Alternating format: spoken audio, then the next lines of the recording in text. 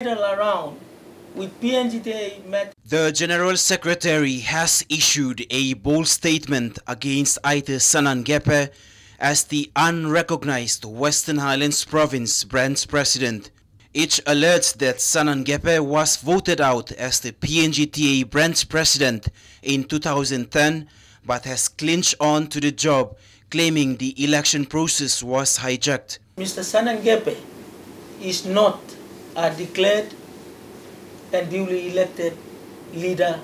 Mowana said the Western Highlands provincial government and teachers in the 164 schools shouldn't be misled by Mr. Sanangekepe.